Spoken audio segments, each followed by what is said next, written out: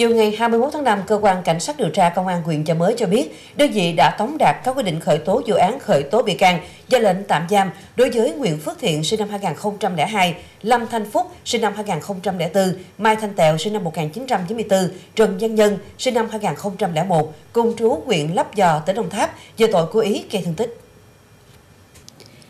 Theo thông tin từ cơ quan điều tra, khoảng 22 giờ 30 phút ngày 1 tháng 4 năm 2024, Nguyễn Phước Thiện, Trần Giang Nhân, Mai Thanh Tèo cùng với một số người bạn đến quán TN tại xã Hòa An, huyện Chợ Mới để hát karaoke. Lúc này Võ Văn Phúc sinh năm 1985, cư trú huyện Chợ Mới, cùng nhóm bạn cũng đang hát karaoke tại quán TN.